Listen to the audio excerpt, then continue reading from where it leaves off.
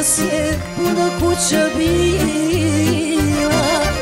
Koroj pčela kad sleti na sve. Kako kome ojačaše krila. Kao ptići krenu svu sve. Oprosti mi majko mila za otetu promesnica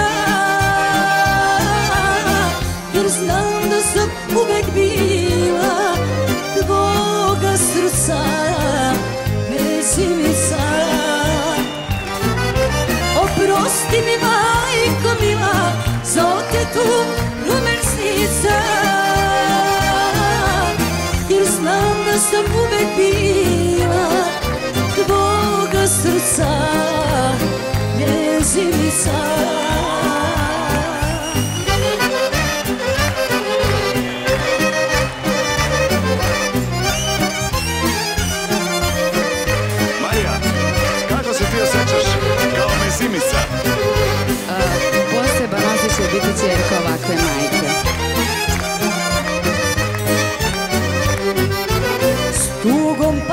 pamtim dan kad si mi dala Svoja mane za moj srećan put Rumen ti je sta lica nestala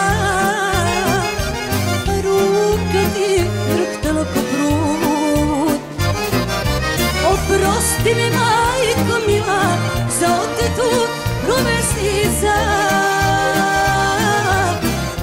znam da sam uvek bila tvoga srca Mezimica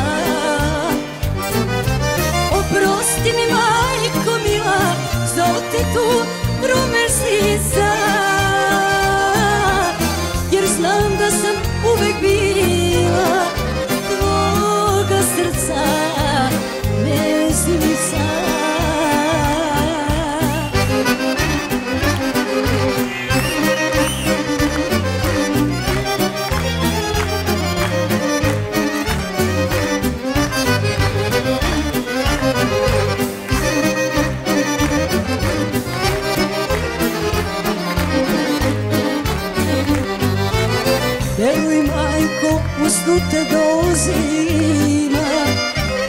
Željno čekam svaki susret drag Kad god zore svog detinstva snimam Na jastuku ostane mi trag. Oprosti mi majko mila za otetu promesnica Jer znam